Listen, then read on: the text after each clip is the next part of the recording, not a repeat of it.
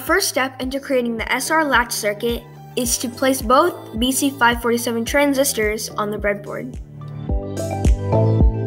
Next, connect both emitters of the BC547 transistors to the negative rail of the breadboard.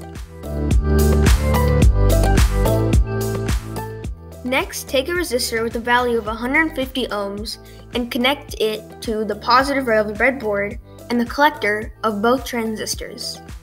Take a 1 kilo ohm resistor and connect it to the collector of the first transistor and an empty row on the breadboard. Do the same for the second 1 kilo ohm resistor, but instead connect it to the base of the first transistor.